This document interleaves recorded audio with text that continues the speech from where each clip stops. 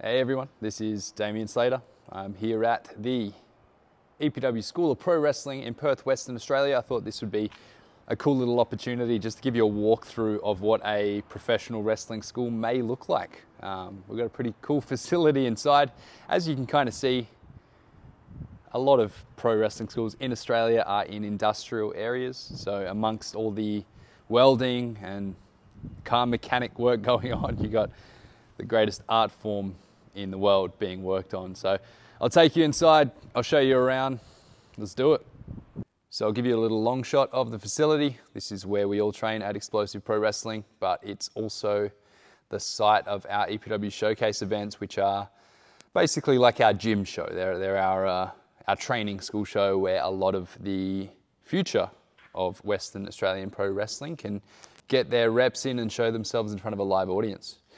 So as we walk around, uh, here we have our new Fuji mats with the EPW School logo on top of it. These are some of the absolute best grappling mats in the world.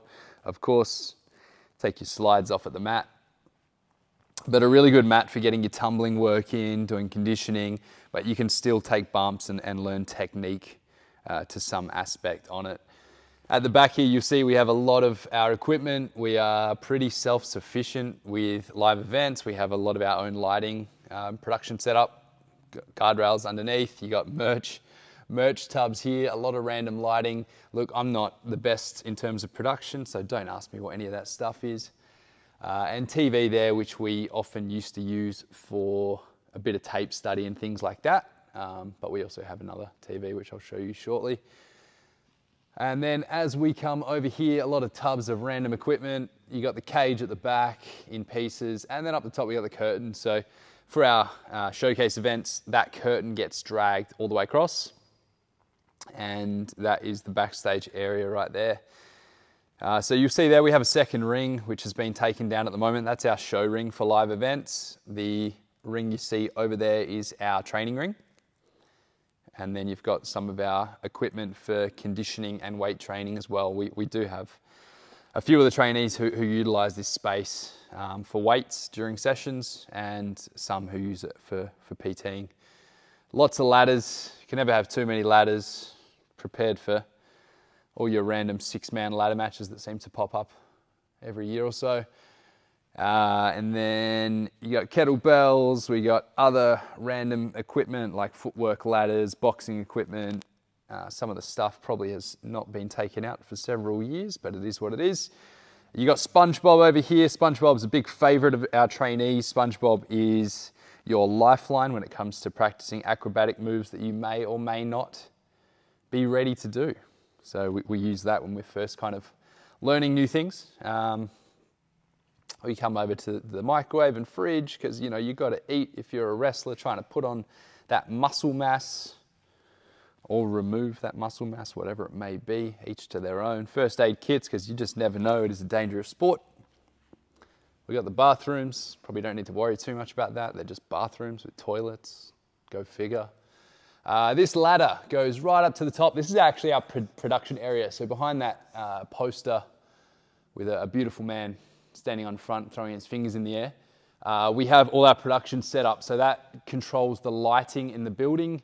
If you look up a bit further, we actually have our own lighting that we've rigged up there. So for showcases, that seems to work quite well.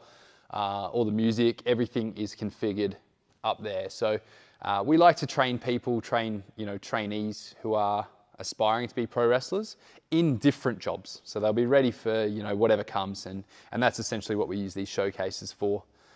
We come over this way, we've got the coach's chair, very important seat, very privileged seat right there. That's where I like to sit and judge people from afar.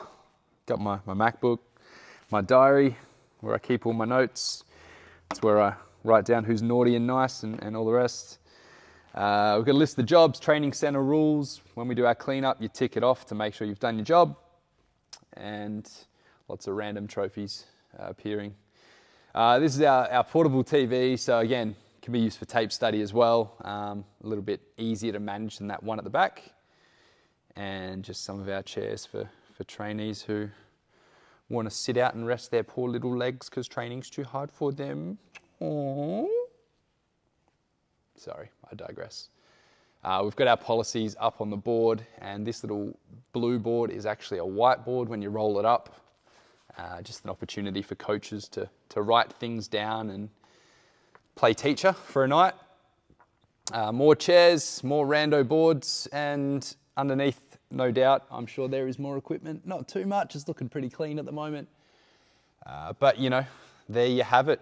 Uh, that is the EPW School of Pro Wrestling, how it's set up at the moment. And, uh, you know, I think it's a pretty cool little facility. It's got a little bit of everything, ample space, and uh, it's looking quite, quite neat and tidy at the moment. So thanks for coming along. Thanks for watching.